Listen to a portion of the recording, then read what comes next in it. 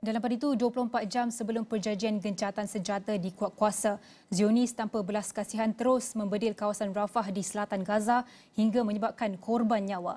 Tindakan kejam berkenaan jelas menimbulkan keraguan rakyat Palestin dan mata dunia tentang keberkesanan cadangan gencatan senjata itu yang dibibangi hanya satu tipu helah. Serangan udara berkenaan dengan kejam menyasarkan bangunan keluarga Uwaida di timur Rafah hingga beberapa lagi rakyat Palestin syahid. Seorang rakyat Palestin Muhammad Abu Halalih menyatakan kebimbangan adakah tindakan Israel merupakan satu usaha gencatan senjata atau misi untuk melakukan pembunuhan beramai-ramai. Menurutnya, ia jelas satu tindakan yang melanggar pendirian dan perikemanusiaan mereka kerana terus membedil nyawa yang tidak bersalah. Israel dan Palestin sebelum itu bersetuju untuk menguatkuasa gencatan senjata di Gaza selama kurang-kurangnya empat hari bagi membenarkan kemasukan bantuan.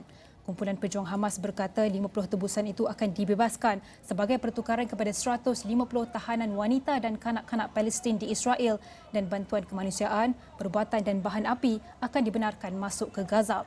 Pihak berkuasa Gaza kini melaporkan sekurang-kurangnya 13,300 rakyat Palestin telah disahkan terbunuh termasuk 5,600 kanak-kanak dalam serangan tanpa henti dilakukan dengan kejam oleh Israel.